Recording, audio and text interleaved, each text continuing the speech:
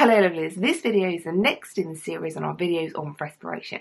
In this one we're looking at the details of the oxidative phosphorylation part of the process. If you want the whole process, if you want everything in respiration, everything in photosynthesis, then you can go and check out the playlist or you can go and check out the webpage where everything is linked for you or you can go over to my website, sign up to my mailing list and download the checklist which links through to every single video in order for you.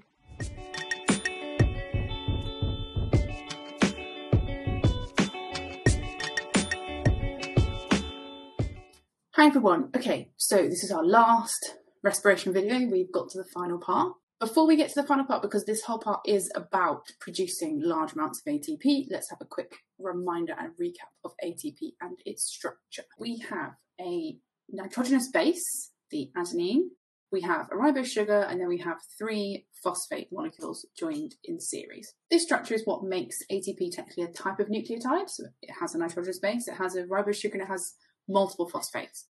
And remember, it is known as a TP triphosphate because it has three phosphates.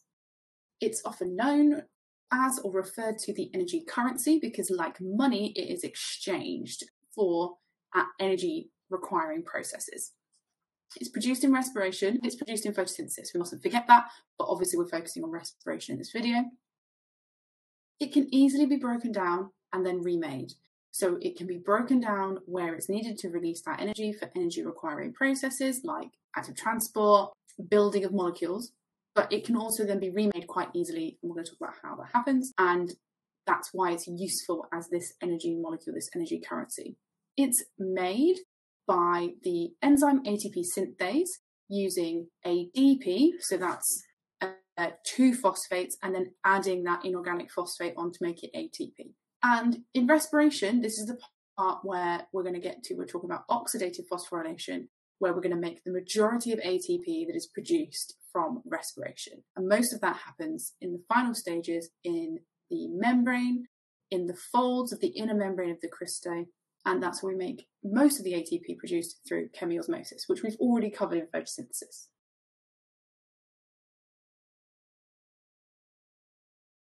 These are the steps of oxidative phosphorylation, which is the chemiosmosis part, okay, and it takes place in this intermembrane space that is between outer membrane of the mitochondria and the inner membrane, which is folded. So I've got a section of that inner membrane here, and then at the top you can see I've got my intermembrane space, and at the bottom is the matrix. So we're going either side of this inner membrane inside my mitochondria. So this is obviously going to be very similar to exactly the same process of chemiosmosis that took place in photosynthesis that we've already covered. We're just talking about slightly different names for membranes, but other than that, it's basically identical. So the electron carrier proteins are found in the inner membrane and they oxidize the reduced coenzymes NAD and FAD when they arrive. Remember, oxidation is loss, so they are giving up their protons and electrons.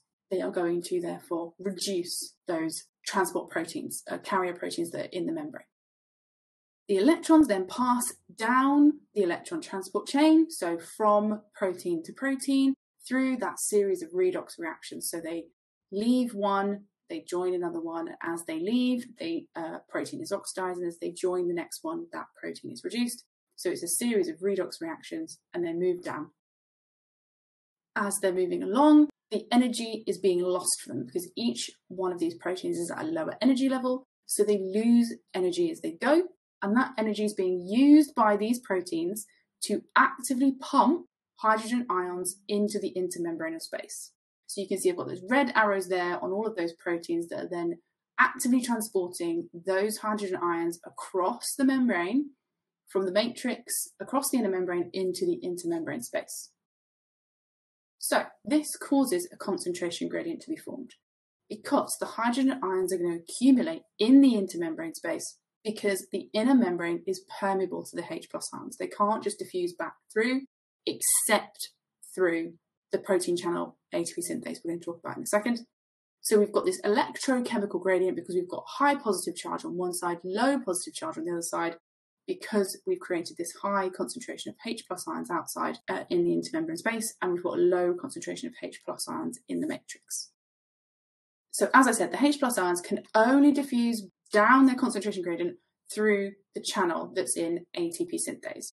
And that flow, that movement of H plus ions through ATP synthase helps to catalyze the phosphorylation of ADP to ATP, which we've already talked about.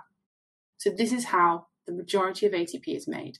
And you'll notice that obviously the reduced NAD and the reduced FAD, they obviously are bringing protons and electrons. So because there's so many reduced NAD and FAD coming and bringing all of those hydrogen ions and electrons, they are what the more hydrogen ions and electrons we have, the more ATP we're going to be able to make. The other thing that you'll notice is that the FAD uh, goes and delivers its electrons and hydrogen ions to the second protein in the electron transport chain, not the first one. And because it starts a bit further up the chain, the electrons give off less energy as they move along because they don't go through as many um, energy level drops.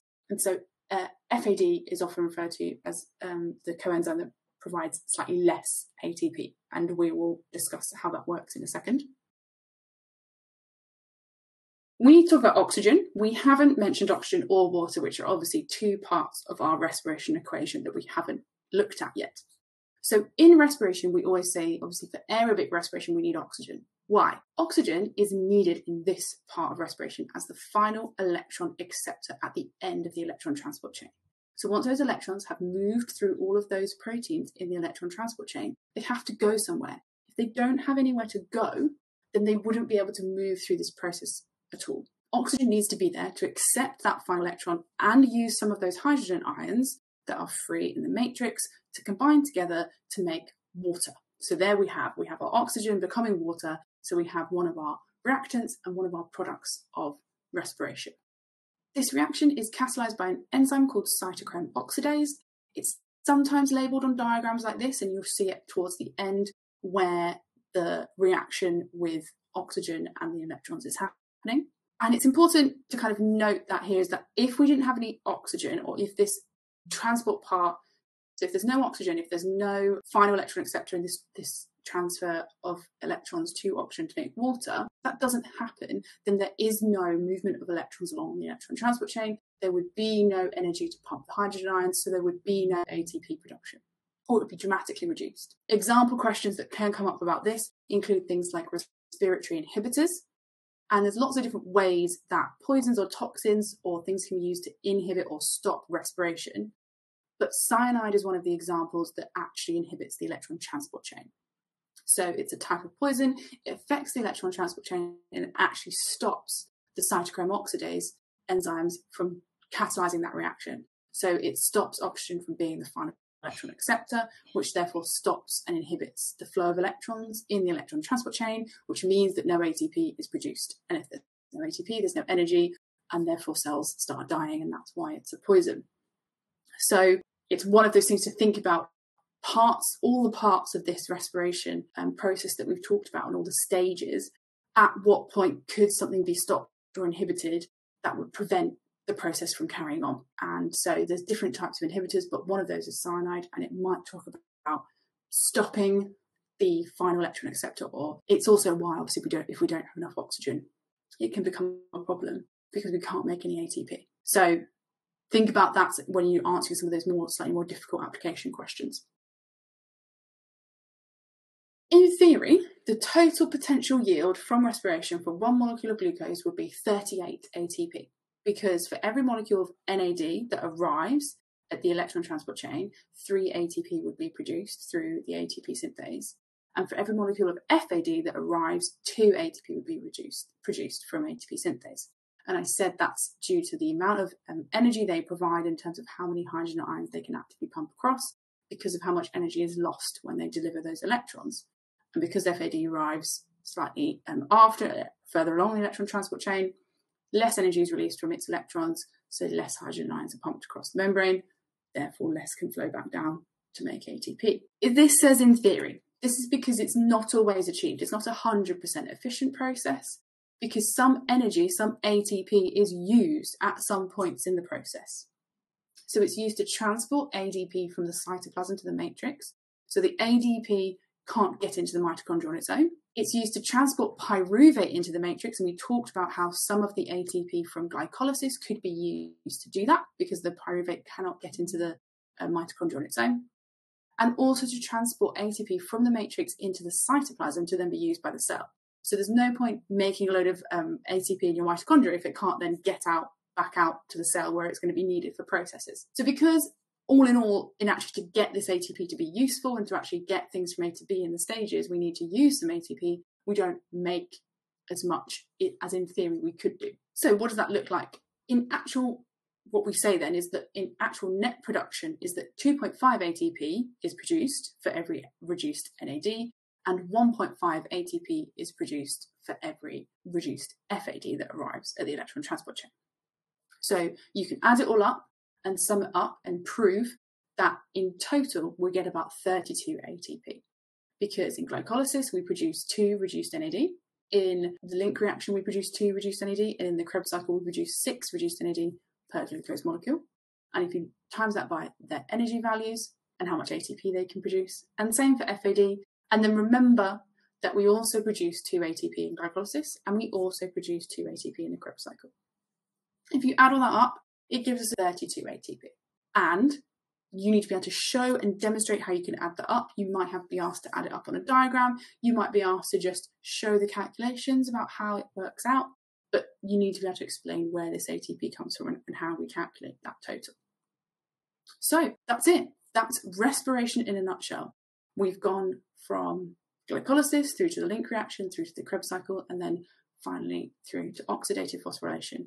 And remember, that just means adding a phosphate in the presence of oxygen, which it is doing that, or it needs oxygen to do that. Okay, so hopefully that was useful. And now we're going to move on to looking at how energy, in terms of the energy that we're making and, energy in organisms transfers through larger systems like uh, an ecosystem, a food chain, and some uh, nutrient cycles as well. Ouch!